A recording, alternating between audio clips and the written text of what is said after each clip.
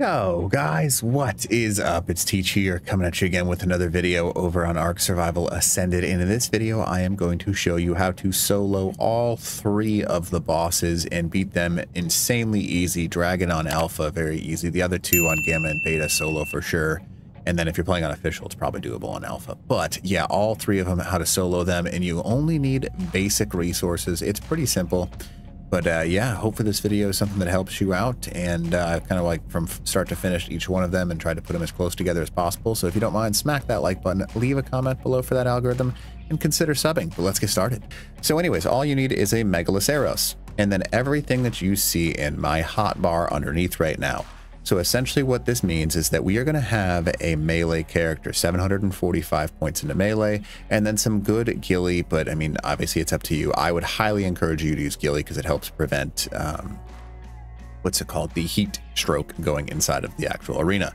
Medical Brews, Energy Brews, Lazarus Chowders, uh, Enduro Stew, Calien Stew, and Shadow Steak. All of these in combination are going to keep us alive in the boss battle while we're actually taking the damage and uh, that's pretty much the hardest part is staying alive from not the boss itself from the actual um, kind of dangers inside the boss arena. So you'll also need a megaloceros. This is a literal unleveled wild tamed megaloceros. There's nothing special. If you were to put points into one um, and get a good saddle obviously you'd be much better off than i am right now.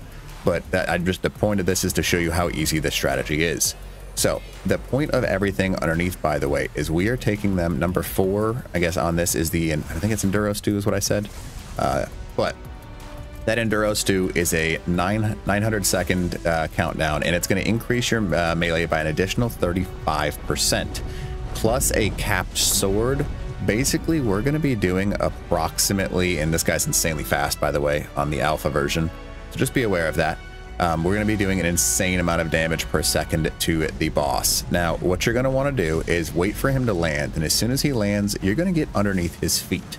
Because of the hitbox on the Alpha Dragon, it is unable, or Dragon in general, it is unable to actually hit the Megaloceros. It can't hit any small tame, technically. Um, so this is one of those risks. So see how he just blew in all of his buddies here? So what we're going to do is we're going to stick to the wall. And this is one of the dangerous sides of it. So we're just going to sit here and we're going to swing. And he's going to hit us with a fireball probably. Um, yeah, he's going to hit us with that one. So what you want to do is you want to try and avoid those fireballs to the best of your ability. But obviously it's not always possible. So what we're going to do is we're going to go ahead and kill these Dimorphodons before he gets over to us. Because the Dimorphodons are the ones that are going to do damage to you. So what our goal is right now is we're going to get next to his foot. So see how we're on his foot right now? We are going to do 4,000 damage a second. Now, 4,000 damage a swing, so that's like 12,000 damage a second on him, which is kind of crazy. So this is all you have to do is just get underneath his foot. And then when the Dimorphodons and stuff come in, you're actually going to insta-kill them because they're going to try and bite you and then take damage via the headshot. So notice how much damage we're doing. Yeah, so he's already, what, almost 20% dead. And this is on official settings, by the way. So just so you can see that. But the better sword you have, the better off you are. You can, I mean, you might be able to do this with a primitive sword, but I'm not going to recommend you try because you probably want, I would say, somewhere around a 300% capped sword in order to complete this if you're going to do this yourself, especially because it's pretty expensive to do this boss. But sometimes, depending on how much damage you can do, you can actually kill him before he ever takes off, which is a super useful thing, obviously. And uh, so, yeah, make sure you're hitting him with every swing. And we're just going to keep aiming at the foot like I am right now yes, this is a very glitchy thing, but that's kind of the point of this, is we're just trying to stay alive in order to actually do the damage. So see how I'm still doing those damage even though I can see him? So he's almost down to half health, and this is Alpha Dragon, by the way. Now, what you're also going to do is you're going to go ahead and take your stims and everything like that, and make sure your character is surviving, right? So keep an eye on all of your individual statistics. Stamina is going to knock you out if you let it, so don't do that and then avoid his fireballs from the sky. So notice how that fireball is over there. We're going to avoid it. And then he's going to breathe his fire. And as soon as he breathes his fire, he's calling in his Pteranodons and Dimorphodons. So we're going to go and break out our sword again. And we're just going to swing, right? Now, the reason that we're going to swing is we don't want to get hit by that fireball. And we also don't want to get hit by the, uh, any of the Dimorphodons. Because the Pteranodons can be tanked, technically. Um, but you don't really want to tank the Dimorphodons. Because those are going to be the ones that hurt you the most. But with the speed of your tame, you can actually kind of survive this entire thing and just back up and swing. There we go. All right, so now he's land again. We're going to go back underneath his feet. And if you can get underneath him before he hits you with that first fire breath, that's the goal. It's not always possible, but it's very, it's much preferred, obviously. So we have some veggie cake on our Megaloceros. We have about 10 so that it can heal up. It heals 500 per bite on that veggie cake. So just be aware of that. That's why we have that in here. And then you're just going to keep swinging. You're going to keep swinging at the foot. That's all you got to do. Swing, swing, swing, swing, swing away. Now, just so you know, you could do this with any sword. Um, it's going to take longer and it's going to be a little bit more, you have to be more cautious, but it is doable technically with any sword. You would, I mean, I don't know if I would personally do it with a just a prim sword, but I would go for at least 200 and 250% swords. Those are what you want to aim for. And because they swing faster than a pike, that's our uh, ability to actually do this damage insanely fast, right? So we're just swinging away and that's all we're doing, right? Now, if you have, if you're paying attention to your energy, make sure you pop a couple of those energy brews so you can keep swinging without knocking yourself out. And then just keep, make sure you're watching those buffs in that bottom right. And that's the hardest part of this boss fight, right? I mean, we are almost killing an alpha dragon by ourselves on official settings. Kind of crazy. Um, and looks like we're almost torped ourselves, but I think we might, I'm just going to go for gold here because I want to keep swinging. He's almost dead. He's almost dead. Come on. Come on, buddy. There we go. Alpha Dragon killed. And again, this is on official settings, by the way. So, yeah. Hopefully this is something that helps you out. Kind of crazy. So I just beat Alpha Drag, including explaining to you what I'm doing, so I'm not really paying attention, in less than seven minutes. Which is wild, by the way. If you've never played Alpha Dragon, it's kind of difficult. The only negative of this is sometimes, just like you see me right now, you get stuck inside of the actual boss and there's nothing you can do about that um, which kind of sucks because yeah not not great obviously if you get stuck inside because then you lose all the element and stuff but realistically speaking you don't care i mean it's 450 element but your big thing is getting those engrams because you can always get the ability to um, get out of here and uh, hopefully get all keep all the loot but uh, yeah, a super, super awesome strategy. Now, again, if you haven't smacked that like button for this video, please do so. It helps out a ton if you want to. I mean, it would be awesome, but that's up to you.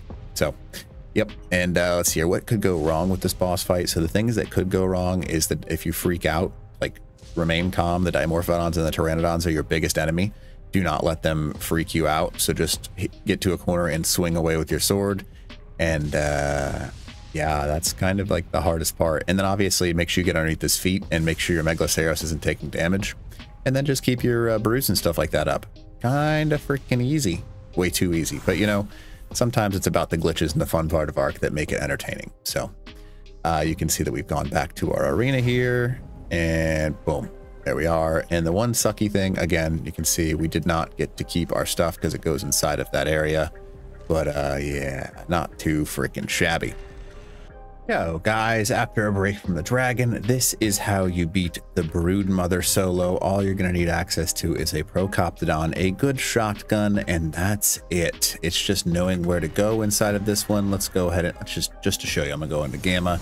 Now you can get more than one person into this, but uh, basically this is going to show you how to beat this boss insanely easy. You just have to jump up to a proper ledge using the Procoptodon special ability. This is how we're going to beat the uh, Broodmother and Megapithecus. So I'm just going to show you how to do both of them in quick succession. And you just jump on the top of the back and then have the shotgun shoot down because this is one of the rare dinos that you can actually pull out your shotgun and you can technically shoot through the Procoptodon, but that's uh, not necessarily a major thing. All right, so as soon as you spawn in, hop on the back of your Procoptodon. Now there's a few things we're going to look out for, so it's going to basically charge after you, right? Now, what you're looking for is pretty simple. You're just going to move as quick as you can and do your best not to get hit by anything, because as soon as you get hit by something, you're in big trouble, right? So we want to jump on top of these bulb-like looking things right over here. So see those right up there? We're going to jump up on top of these. Um, sometimes it takes a few seconds and a few tries to get up to it, unfortunately, but it works pretty much every time. There we go. So just like that. And that's all you've got to do. And then the spider cannot see you and you just shoot down on it. Now, you want the obvious best shotgun that you can have. Then you're just going to sit up here You can technically hit you, by the way, with your Procoptodon, but if you feel safer, what you can do is as soon as it's beneath you, it can no longer hit you. So you can actually jump off and then prevent just every time it shoots at you, you can just do exactly what I'm doing right now and kind of hide to the side. So it's not a huge issue. Um, you can see that this guy that I'm riding on, eh, he took about a quarter health. This is an unleveled uh, primitive saddle, by the way, so you can technically do a lot better than this. Um, but see how I'm kind of like hitting its render box now?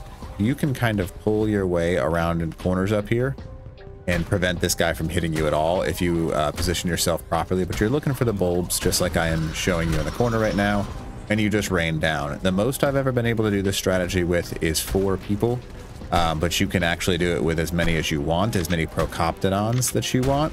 There is no limit, if that makes sense because all you have to do is get up on top of these bulbs. So one person can ride in the pouch, the other person can uh, sit on the top, and that's how you do it really easily. So as long as you can still see her, you can actually shoot at her. But if you can't see her like I am right now, just wait a second and she will come back into your render range. Now, it really is that easy. Um, and then you just sit up here. Now, what you can do is if your tame is about to die, right? Let's say that I am risking my Procoptodon dying. Um, what you can do is you can hop off and then that will give you the ability to kind of hide and duck out of the way of her shots. So she can't hit you, but you can hit her. So you're going to see that this thing takes quite a bit of damage. So I'm getting a little nervous, right? So all I want to do is I just have to hop off to the side. You can put your shotgun away and then hold E like that right there. And then if you really want to, whistle neutral, because again, the important part of this is nothing to do with the actual um, engrams and stuff like that. Not the engrams, but the um, element because we just want to get the engrams. You will not take enough fall damage if you drop out of this, but see how she's trying to get to me now? Your Procoptodon will sit and soak that damage. He will go after her and see how it like shoots underneath me right there? All I have to do is just stay in this exact spot and just not get hit. That's it. Now, she can't hit me here. She will move. Again, we're kind of using the render to our advantage. You can't shoot her through this. There is no way to do that, so you will have to wait for her to move back out this way. And she will. It just takes some time. Um, and as long as you're just continuing to wait and be patient like I am, that is how you do this boss fight. You just keep shooting and waiting. Now, you can lay down the entire time if you want to. It's entirely up to you, but pretty simple. And uh, yeah, so I have almost no health, no stats, no anything. How she does that scream? Sometimes she'll throw things at you. Just stand. Uh, basically, this is like your little guide right here. See how I can't shoot her here? If she can't hit you, you can't hit her, so you're completely safe. But this is like that little line right there that we're looking at. So keep shooting at her. And uh, you can sometimes come close to beating this on uh, solo, but it's very difficult. Man, she got me with that one. Good for her. Um, but uh, it's very difficult to beat it on alpha solo, so just be aware of that. So make sure you're using this thing to your advantage. And we should be pretty close. Um, but I would, if you're going to do it solo on alpha, oh man, you basically got to be on unofficial servers because you're not going to be able to get enough damage off on this uh, uh, brood mother. So I would highly recommend. Oh, that that hurts. Ow, you caught me with a few of those. Uh, for some reason, the nets sometimes get you, but the, the green things are the ones that are dangerous. Those are the ones that will one-tap you, so just be aware of that. Okay, she is waiting for me to swing. Um, but yeah, you can, I mean, you can probably honestly fit five or six people up here pretty easily. Um, you can just wait down low on like a stego or something like that. And then transport people up here with a Procoptodon, making sure it's nice and safe. But this is the best way to do this boss fight by far. And this should be the last like three shots. Two, there it goes. And that's it. That's all you have to do in order to beat her. Now let's move on to the uh, Megapithecus. Yo, guys, we are now at the Megapithecus basic easy win guide, if you want to call it that. So basically all you're going to need, same same strategy. The only thing we're going to change out is our armor. We're going to use Riot instead because that's going to give us more insulation because the uh, arena inside of this area is incredibly cold. I only have 100 health, by the way, so if I can do this on 100 health, you can do it for sure with regular stats. Um, and you're just going to need, again, a Procoptodon just so you can see. This one has primitive and it's wild tame, so it's got zero levels into it. It doesn't even need to be a good one. Um, the hardest part is getting a good shotgun, and it's got to be a pump action shotgun. Now, this one, not really doable on, I mean, it's is it doable on alpha? Probably. um, but it's very difficult to achieve on alpha because of the damage output. You have to do enough damage, but you can definitely do gamma and probably beta solo.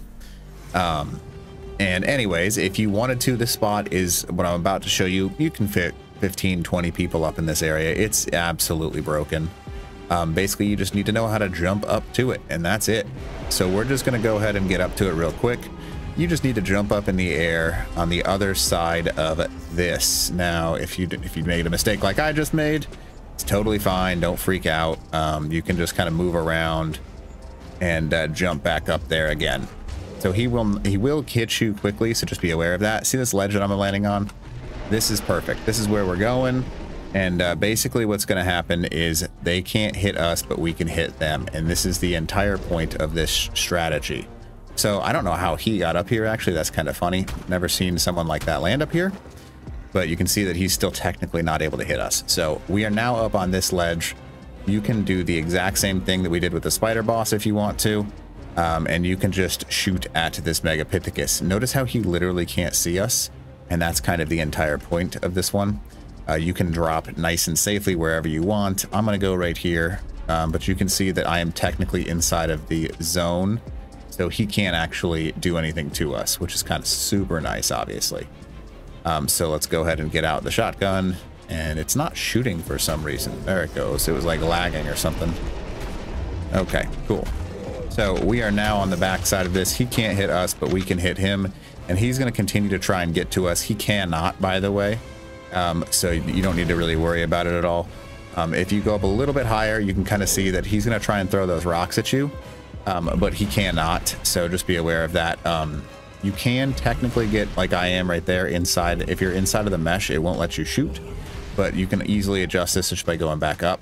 You can also land over here where I am and then go back up over the wall on this side. So there's a lot of ways to do this boss fight actually, um, but you can do whatever you want. There's another area you can land on this side. You can go up here. It's kind of crazy the number of areas that you can actually go for this one. Um, but as long as you're able to hit him, it doesn't really matter.